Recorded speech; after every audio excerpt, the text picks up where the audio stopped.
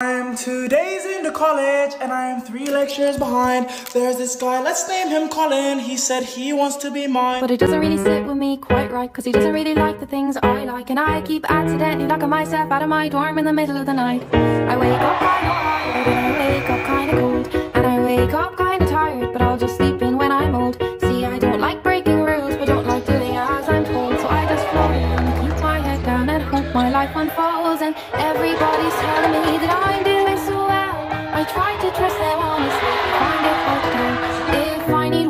I need rest, I try my best, I try my best to tell myself, I say it loud, it's fine, I'll figure it all out. I tend to forget, I'm still only quite young.